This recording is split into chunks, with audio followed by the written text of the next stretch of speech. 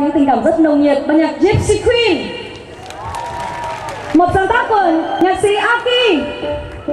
Bài hát có tựa đề Paradise in Your Soul. Có nghĩa là thiên đường nằm ở chính nơi trái tim của bạn. Xin quý vị hãy dành những tràng vỗ tay thật nồng nhiệt cho ban nhạc Gypsy Queen và Aki sang.